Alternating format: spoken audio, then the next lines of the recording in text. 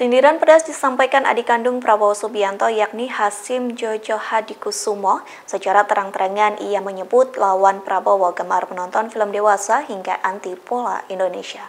Hal tersebut disampaikan oleh Hasim seusai peresmian relawan Prabowo Mania 08 di Surabaya pada Sabtu 20 Mei.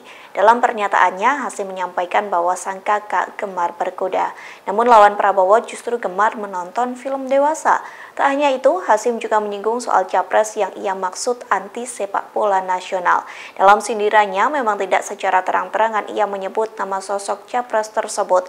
Namun Hasim mengungkit Indonesia yang batal menjadi tuan rumah Piala Dunia U20 yang mengatakan Prabowo merupakan sosok yang pro dengan sepak bola Indonesia, sebaliknya lawan Prabowo justru anti dengan bola nasional. Meski tak mengarah ke satu nama, namun diduga sosok yang disindir Hasim adalah capres dari PDIP yakni Ganjar Pranowo.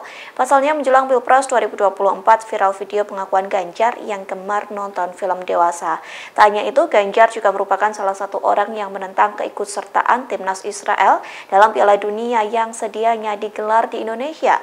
Bahkan banyak pihak hingga netizen menilai Ganjar merupakan salah satu orang penyebab Indonesia gagal menjadi tuan rumah Piala Dunia. Terima kasih sudah nonton. Jangan lupa like, subscribe, dan share ya.